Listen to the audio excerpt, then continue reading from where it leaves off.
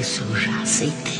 É, eu tô dentro, eu assino onde for, assino com meu próprio sangue. Mas agora você vai ter que me dizer primeiro uma coisa: o que é que eu ganho?